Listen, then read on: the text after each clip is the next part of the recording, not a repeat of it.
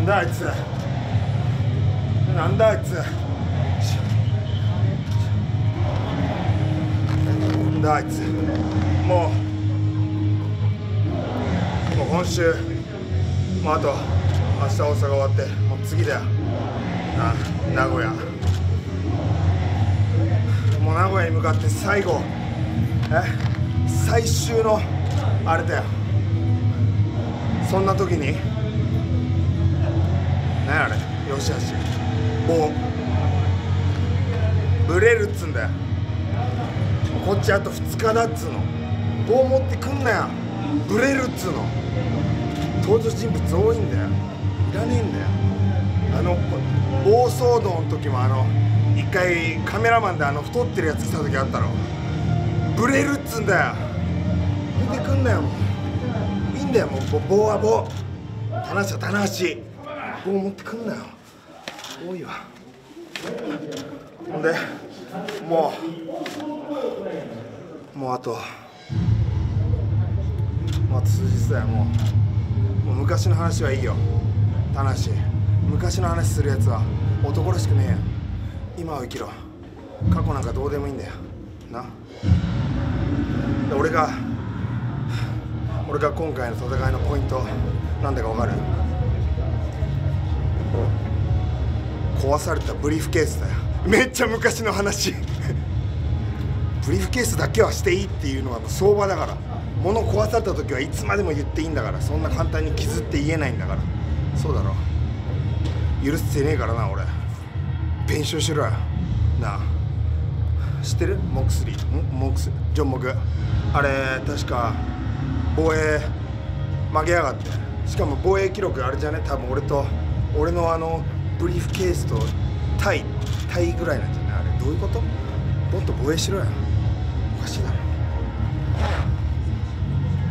まあ結局これ何が言いたいかっていうとこれマジで名古屋は本気の田無が見たいってこと。か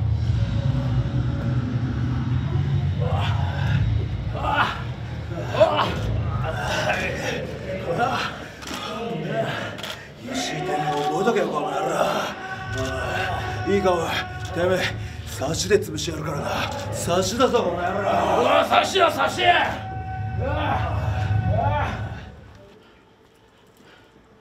いビル。もっとドンとこいドンとは。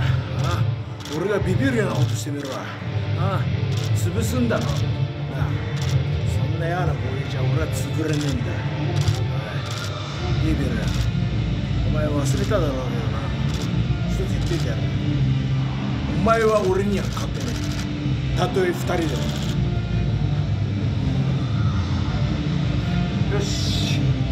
体が軽くなっていって体が軽くなってきて尻上がり調子も上がってるから。ね。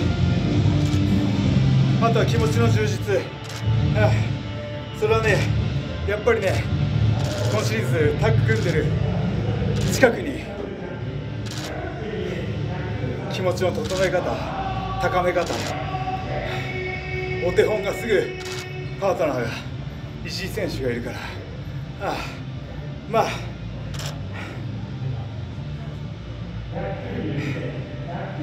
本当にね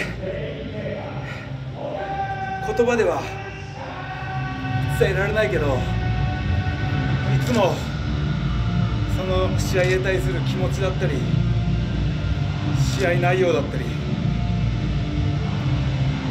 目に見えないエネルギーとパワーとプレッシャーをいただいてるから、はあ、くしくも名古屋セミファイナルが石井選手。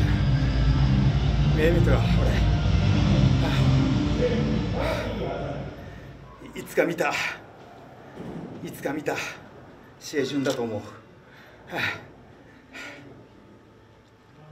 だから前哨戦は対戦相手を攻略するのも一つの方法、うん、違う方法で気持ちを高めていくっていうね。今回はそういうパターンだったから、うん、よし。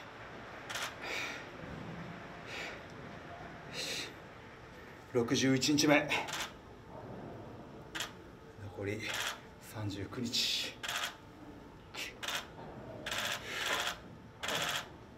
とか言ってるとね怒られちゃうから。